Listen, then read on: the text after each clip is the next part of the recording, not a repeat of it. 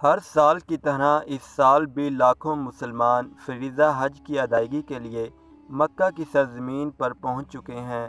आज़मीन हज के लिए खैमा बस्तियाँ भी आबाद हो चुकी हैं, ताहम आज भी बहुत कम लोग ये जानते हैं कि पहला हज कब और कितने मुसलमानों ने अदा किया और अमीर हज कौन थे।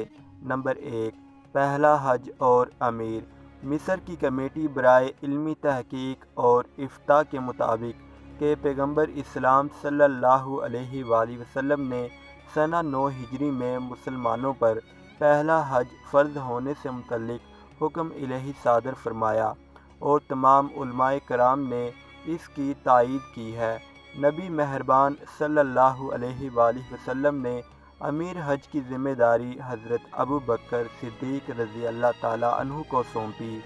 मिस्री इफ्ता कौंसल की तहकीक में कहा गया है कि जब नौ हिजरी में हज का वक़्त आया तो रसूलुल्लाह सल्लल्लाहु अलैहि वसल्लम ने हज़रत अबू बकर रज़ी अल्लाह तु को अमीर हज बनाकर भेजा।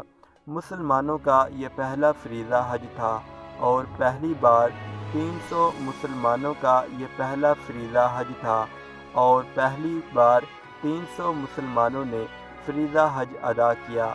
इससे कबल मुसलमानों पर हज फ़र्ज़ नहीं था। नंबर दो, महादे की खुलाफ वर्जी। हज़रत अबू बकर रज़ी अल्लाह तु के सहाबा कराम रिजवानुल्लाह अलैहिम के साथ सफ़र हज के बाद सूरत बरा, सूरत तोबा रसूलुल्लाह सल्लल्लाहु अलैहि वसल्लम पर नाजिल हुई।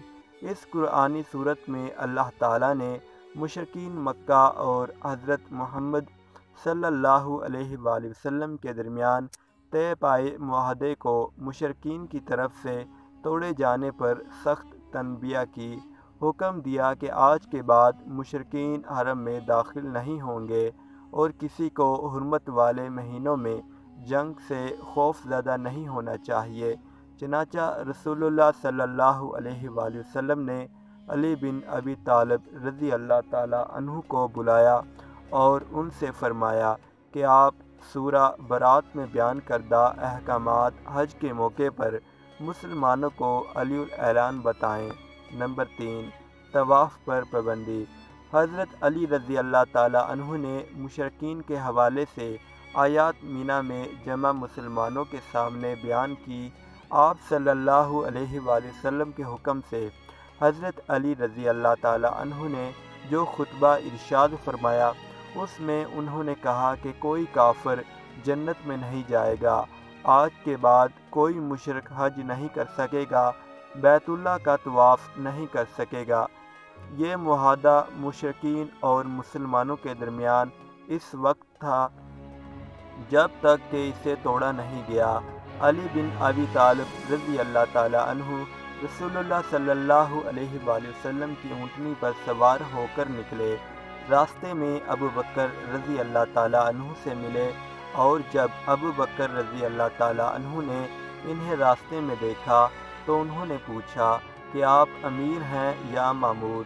हज़रत अली रज़ी अल्लाह तु ने फरमाया कि मैं मामूर हूँ यानी मुझे रसूलुल्लाह सल्लल्लाहु अलैहि वसल्लम ने कुछ अहकाम के साथ भेजा है।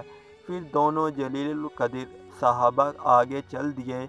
अबू बकर की अमारत में मुसलमानों ने हज अदा किया। कुर्बानी के दिन अली बिन अबी तालब रज़ी अल्लाह तु ने खड़े होकर लोगों को रसूलुल्लाह सल्लल्लाहु अलैहि वसल्लम की तरफ़ से दी गई हदायत पेश की। और नए अहकाम बताए।